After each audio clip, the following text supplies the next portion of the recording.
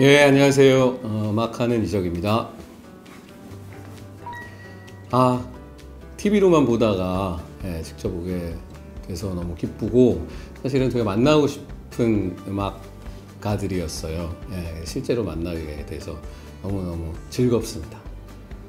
음, 다 보고 싶었는데 그 무진 씨가 굉장히 젊잖아요. 그러면서 재능이 충만하고 그리고 에너지도 많고 그래서 어떤 친구인가 실제로 어, 보고 싶었어요.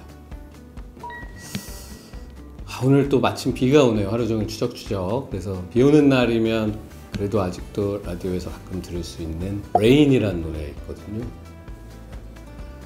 오늘도 이 비는 그치지 않아 모두 어디서 흘러오는 건지 창밖으로 출렁이던 헤드라이트 강물도 갈 곳을 잃은 채 울먹이고 뭐 이런 노래입니다. 어, 아마 그 Top 3를 사랑하시는 분들일 거고 특히나 음악을 굉장히 사랑하시는 분들일 것 같아요. 그래서 다양한 음악들을 듣고 싶어 하는 분들이시니까 예, 앞으로도 꼭 정말로 유명한 곡들 막 차트 상위권에 있는 노래 말고 다양한 음악들 계속 사랑해 주십시오. 감사합니다.